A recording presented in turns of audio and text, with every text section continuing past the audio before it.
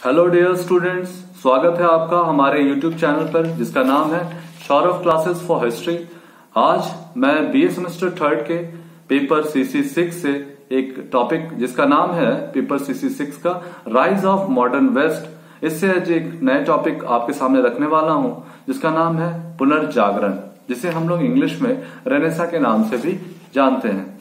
तो चलिए, बिना समय गवाए, हम अपने विषय को स्टार्ट करेंगे। पुनर्जागरण इससे संबंधित हमें प्रश्न इस तरह से भी पूछे जा सकते हैं कि पुनर्जागरण क्या है, इसकी उपलब्धियों का वर्णन करें। ठीक है? चलिए स्टार्ट करते हैं। पुनर्जागरण उस काल को कहा जाता है जो लगभग 1300 ईस्वी से आरंभ हुआ, जब लोगों ने प्राचीन यूनान एवं रोम की कला और साहित्य में विशेष रुचि लेनी शुरू की। किंतु पुनर्जागरण इतने ही तक ही सीमित नहीं था। यह वह काल था जब यूरोपीय निवासियों ने जीवन के प्रति अपना दृष्टिकोण बदल दिया और वे अपनी समस्याओं एवं स्वयं विचार करने लगे। समस्याओं पर स्वयं विचार करने लगे। उन्हें इस बात की अनुभूति हुई कि मानव जीवन का अपना महत्व है। मनुष्य की समस्याओं का अध्ययन होना चाहिए। वे अब समाज के सामंती संगठन से संतुष्ट न रहे। अब वे चर्च के सिद्धांतों की सच्चाई में संदेह करने लगे और प्रत्येक बात को तर्क की कसौटी पर कसने लगे।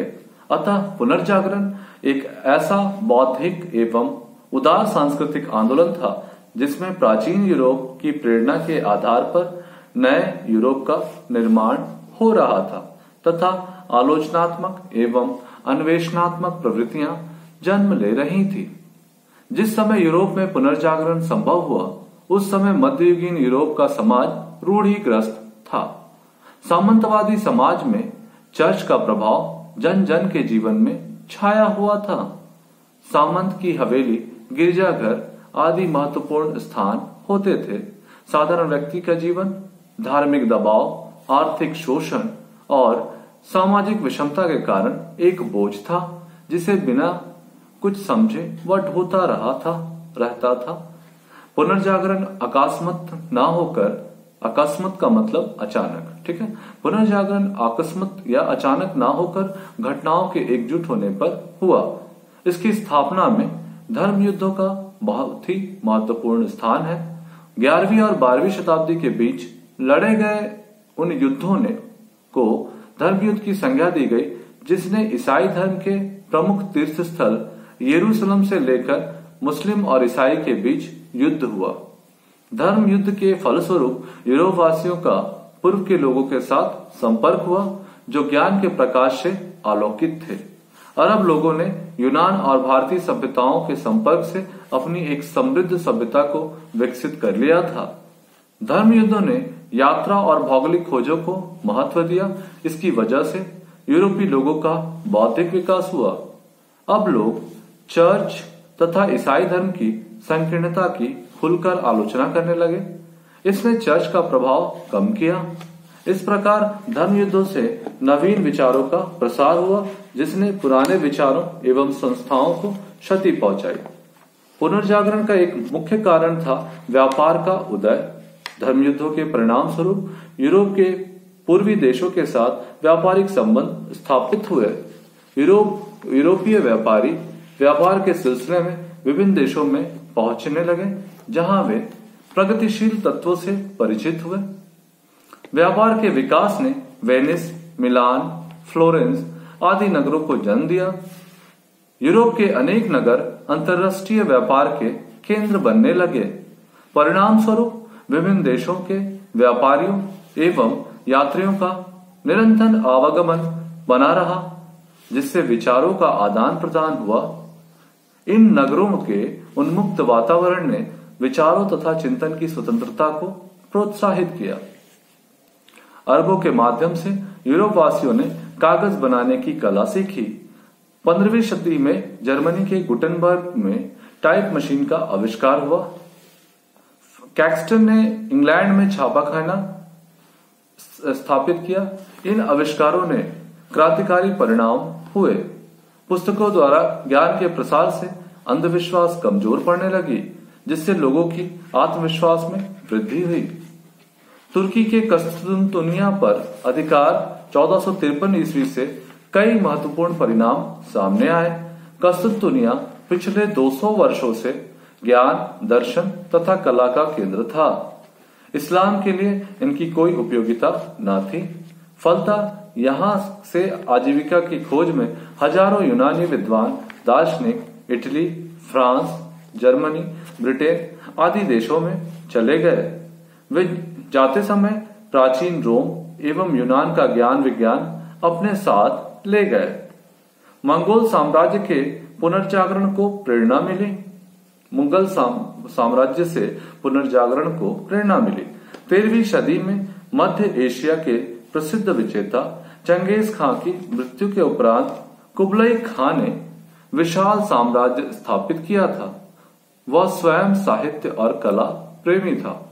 उसने विभिन्न विषयों के विद्वानों, कलाकारों एवं साहित्यकारों को राजकीय संरक्षण प्रदान किया था, जिससे कला और साहित्य के क्षेत्र में काफ़ी वृद्धि हुई। उसने दरबार में अनेक विद्वान, बौद्ध भिक्षु तथा भारत के गणितज्ञ व ज्योतिषाचार्य विद्यमान थे। फलस्वरूप पूर्वी व पश्चिमी विचारों के आदान प्रदान और ज्ञान के प्रचार प्रसार का यूरोपीय पर ज़बरदस्त प्रभाव पड़ा। अब हम देखते हैं कि पुनर्जागरण का जन्म स्थल जो था, इटली क्यों था? ठीक है? तो चलिए, एक सब टाइटल होगा हमारा, पुनर्जागरण का जन्म स्थल इटली। कई कारणों से पुनर्जागरण की शुरुआत इटली में हुई। भूमध्य सागरीय देशों में सबसे अनुकूल स्थिति इटली की ही थी, जहाँ अरब व्यापारियों द्वारा एशियाई देशों से लाया गया सामान बिकता था। यहीं से एशियाई वस्तु अन्य यूरोपीय देशों में जाती थी। इस प्रकार व्यापार एवं समृद्धि ने इटलर में, इटली में पुनर्जागरण की प्रवृत्तियों को अग्रगांग अग्रांकित किया। करने के लिए सशक्त आधार प्रदान किया। इटली के रोम, फ्लोरेंस, मिलान तथा वेनिस नगर व्यापार के केंद्र थे। इन नगरों का विकास सामंती नियंत्रण से मुक्त स्वतंत्र वातावरण में हुआ था। इन नगरों के शासक, कलाकारों और साहित्यकारों के संरक्षक थे।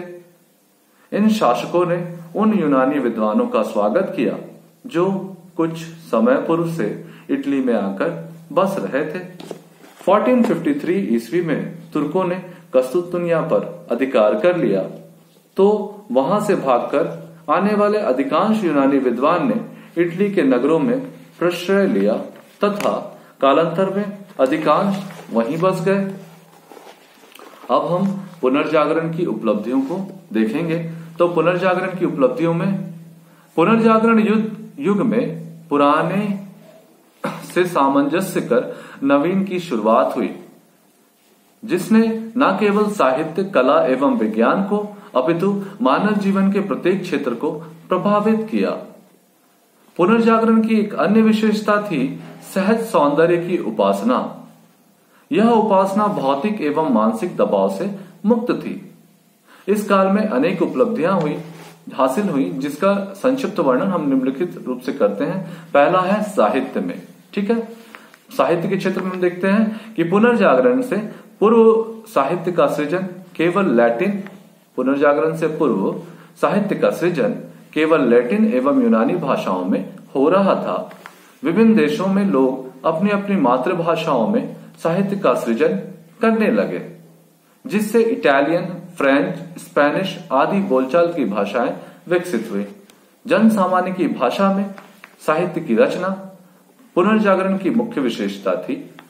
इस युग में साहित्य के में धार्मिक विषयों के स्थान पर मनुष्य के जीवन एवं उसके कार्यकलाप को महत्व दिया गया।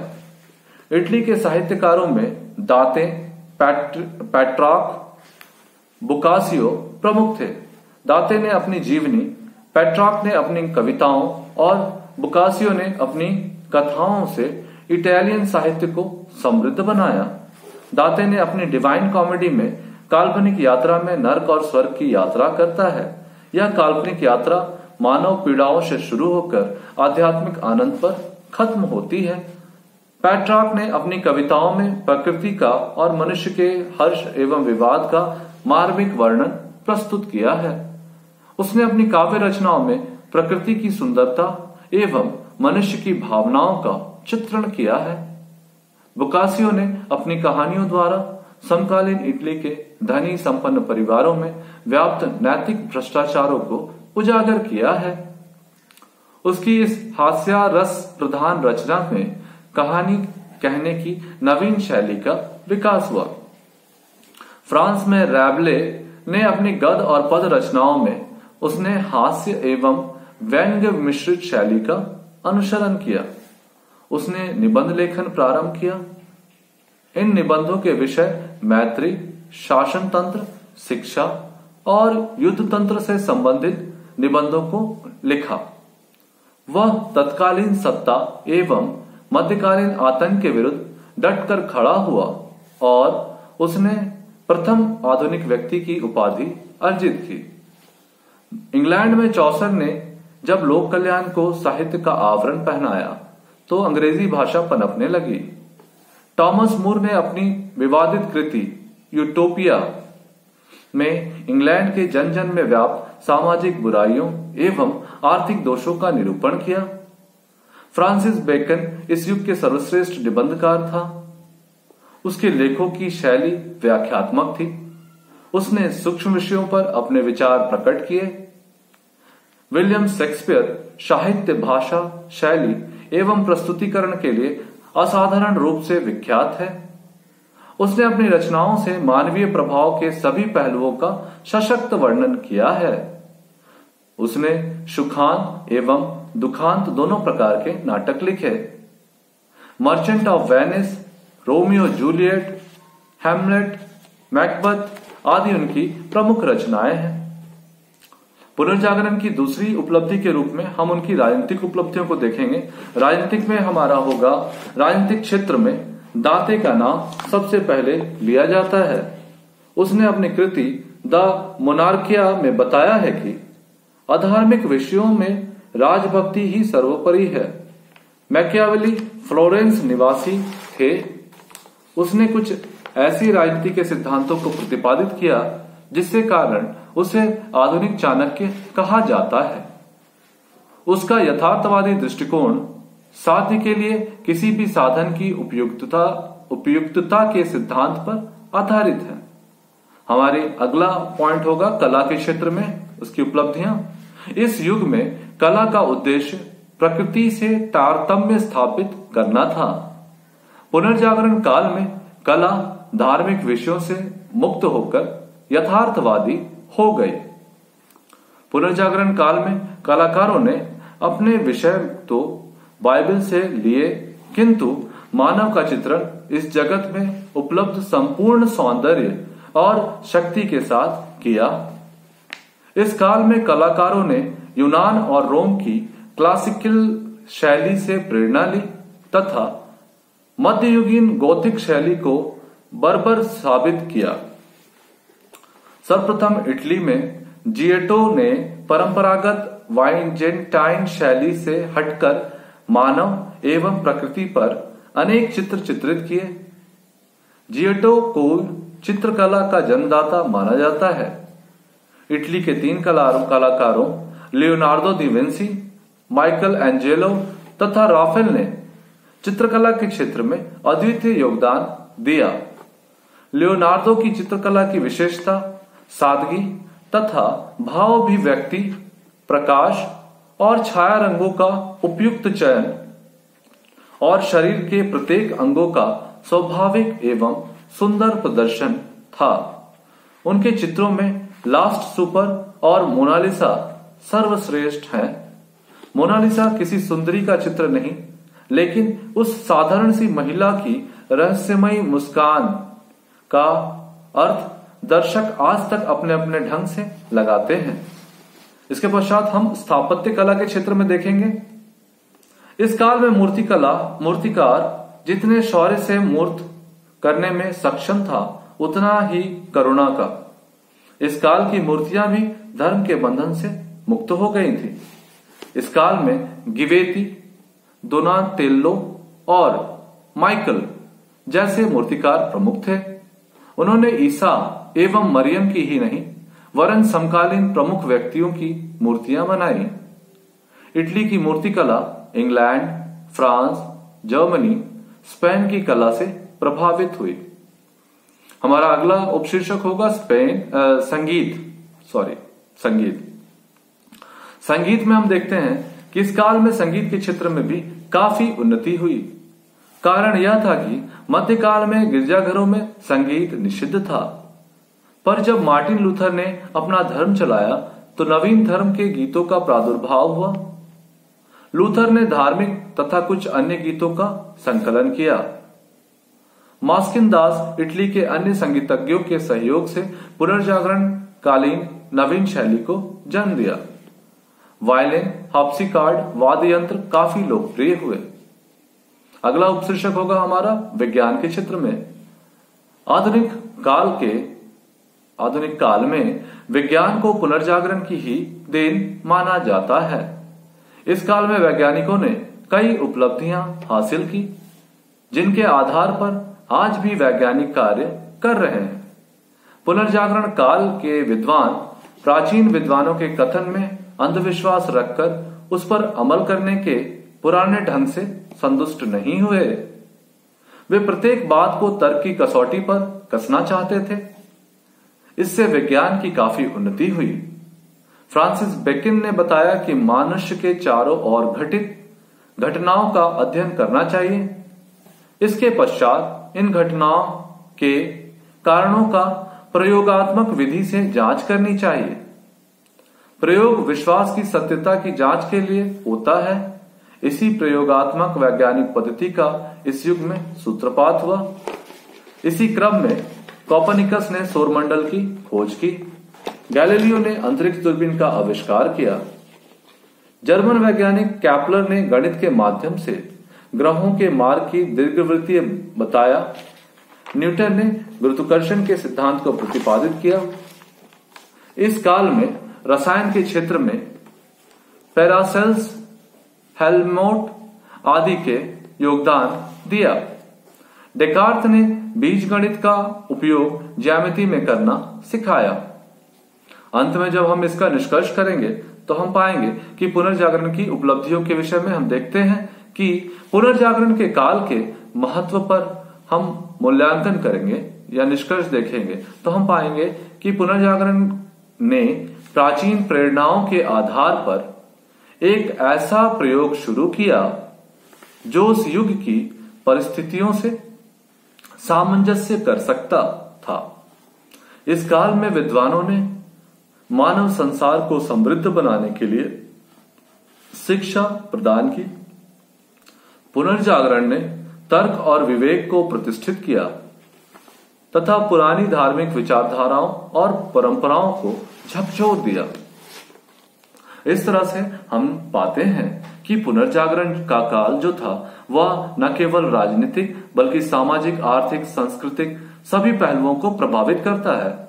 और इस पुनर्जागरण ने यह जता दिया कि मानव जो था, वो धर्म से बंध के नहीं रह सकता था। वह धार्मिक बंधनों से आज़ाद हो गया, धर्म को कसौटियों पर परखने लगा और कई नवीन आविष्कार इस दौर में हुए। इस काल में साहित्य, संगीत और चित्रकला, मूर्तिकला स्थापत्य कला इन सब के विविध आयाम भी काफ़ी प्रभावित हुए और काफ़ी उन्नति दर्ज की गई। इस काल की उपयोगिता और महत्व पर विभिन्न इतिहासकारों ने भरपूर प्रकाश डाला है। और उन सबके प्रकाशों पर अगर हम विस्तार पूर्वक अध्ययन करते हैं तो हमें यह स्पष्ट हो जाता है कि पुनर्जागरण काल की उपलब्धियाँ अभूतपूर्व रही।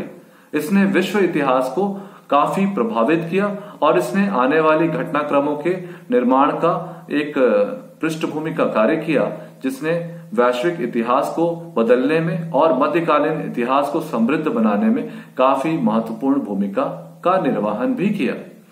आज हम इस विषय को यहीं समाप्त करेंगे। हम अगले विषय के साथ फिर से एक नई कक्षा में आप लोगों के सामने उपस्थित होंगे। आज के लिए बस इतना ही। धन्यवाद।